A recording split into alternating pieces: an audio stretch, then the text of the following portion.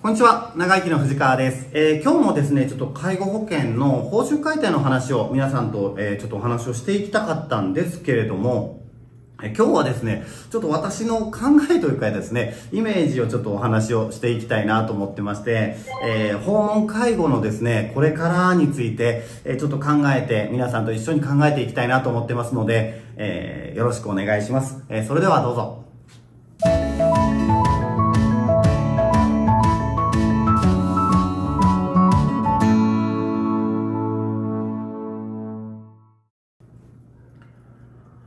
えーということで、えー今日は、今日もですね、あの、訪問介護についての動画をちょっと作りたいなと思ってます。えーこの間はですね、訪問介護の基本報酬が引き下げられた動画をね、え皆さんと一緒にちょっと考えていく動画を作らせていただいたんですけれども、えびっくりしたんですけども、今回の2024年の介護報酬改定、訪問介護が引き下げということで、まあ、えー1時間未満のサービスで396単位が387単位であるとか、まあ、大体全体的に基本単価が3%ぐらい下がっておりました。えーこれに加えてですね、えー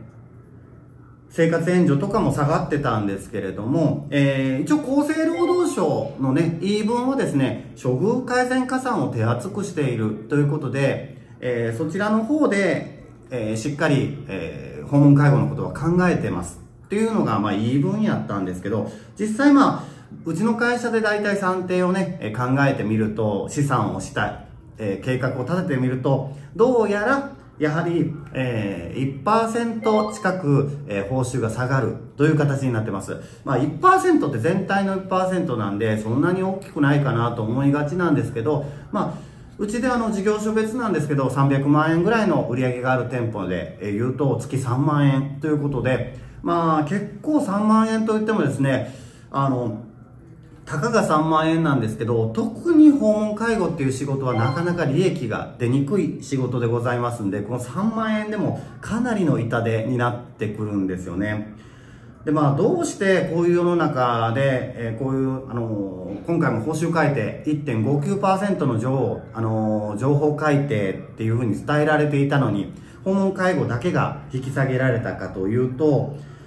経営状態の実態調査がですね、えその中で訪問介護に至っては他の事業所よりもかなり利益が出ていると見られていた。これがすごく、えきっかけの一つなのかなとは思ってます。で、これについてはですね、やっぱりいろいいろいろ言い分があるんですけど、例えば在宅のヘルパーさんをですね、雇用している事業所に関しては、ヘルパーさんの人件費率ってやっぱ高くなると思うんですけれども、あの、常勤でね、雇用してるうちの会社みたいな仕組みで動いてるところに関しては、人手不足だとですね、一人のヘルパーが動く件数が多くなります。で、それに伴って利益も、えーちょっと大きくなってくることはもちろんあると思いますし、あと、最近ね、ちょっと大きく取り上げられてます、住宅型有料老人ホームとかサービス付き高齢者住宅、こういった、えー住宅型の施設ですね、えーこちらにも訪問介護の仕組みが導入されてます。で、こちらに関してはですね、やっぱり一人で提供できる利用者さんの数が多いですし、移動に関しても在宅の、えーそれと違って効率的ですよね。えードアからドアがもうほんまに何、1分もかからず移動できてしまいますから、えこういったところとかが、えー加味されて、えー黒字であると判定されたと思うんですけど、実態調査の内容的にはですね、その訪問介護にかかる経費を入れてくださいねってあったわけですよ。だからそこをきちんとですね、えー高齢者住宅の方は施設の利用料であるとか、食費で、あと管理委託費とかですね、えーあと家賃、こういったものをちゃんと加味して請求、えー実態調査に報告をしてたかっていうと、ちょっと疑問が残りますよね。訪問介護単体でやる、えー、売り売上に対する人件費、ここで対比させるとやっぱ10%以上利益が出てると言っても、実際企業としてはその他、もろもろ、例えば左工樹とかだと、家賃が丸ごと一棟借りで、えー月何百万円も家賃がかかりますっていうところも結構多かったりしますし、委託料としてお医者さんとかその他の機関にえ費用を払っている場合もあると思うんです。そういったものを割り戻して考えれてるかどうか、これも非常に、え今回の実態調査の内容が、ちょっと訪問介護事業所、あと高齢者住宅にかなり不利な条件だったんじゃないかというのは思ってます。で、その結果、他のデイサービスや特養、こういったとこと比べて利益が上がってるように見える、えー、ね、アンケートになってしまったので、今回報酬引き下げの対象になりました。で、結局で、結局ですね、えー、国が推進していきたい方向っていうのが、まあ、施設から在宅へっていうのが今までの流れやったわけなんですけど、これちょっと、えー、国の流れというか今後に対してですね、えー、ちょっと方向転換も入ってきてるのかなとは正直思います。在宅だとですね、やっぱりこう点在する事業所にそれぞれ資本が分散しますよね。えー、皆さんからいただいた介護保険料、プラス、えー、税金からなる介護保険のこの袋を分配するにあたって、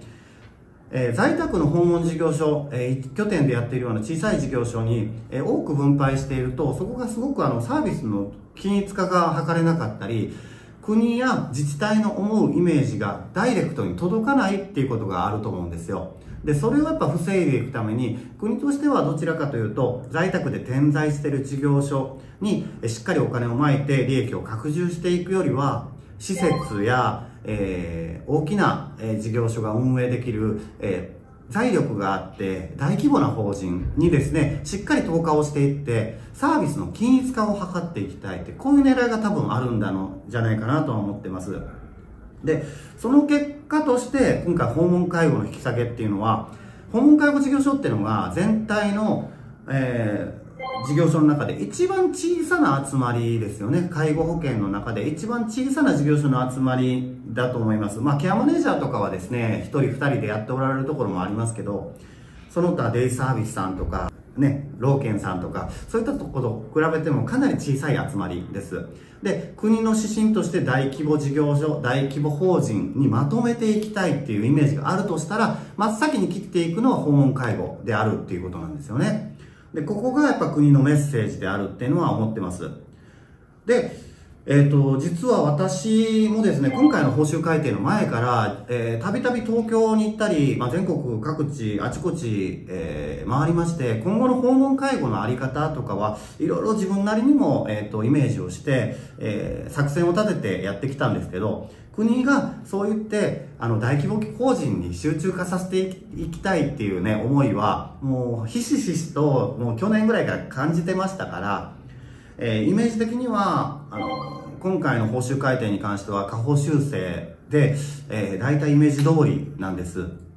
だけど、実際にそれをイメージできてなかった事業者さんたちにとっては、自分たちが今までやってきたことの評価がされてないんじゃないかとかですね。一生懸命こんだけ身のコーナーにして漁師さんにも尽くしたり、えー、クレームがあっても動いたり、雨の日も風の日も雪の日も動いているのにもかかわらず、国や自治体の評価がないっていうふうにやっぱ感じちゃうと思うんですよ。それは本当にその通りだと思ってます。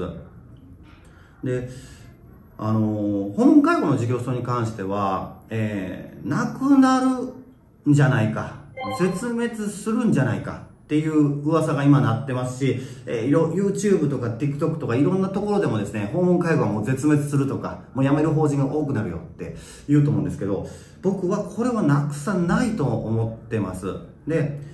なんでかというと、えー、在宅の柱はヘルパーであるっていうことなんですよね。在宅の医療、在宅の、えー、介護、これの柱はやっぱりヘルパーさんであります。ヘルパーさんが生活の全体を見渡して、家事から、えー、おむつ交換まで全域でカバーをして、その中で入浴やレクリエーション、機能訓練のためのデイサービスがあって、あの、リハビリテーションのための訪問看護があったり、そしてお医者さんが家に来る訪問診療があって、まあ、この辺の組み立てていく在宅の構造図がですね、ここがなくなると全体こう、倒壊してしまいますので、わざわざ国はそこは求めてないと思います。国のメッセージとしては、大規模法人にまとめたい。これが多分、えー、今日の話の肝なんですけど、そういう風になっていくと思われます。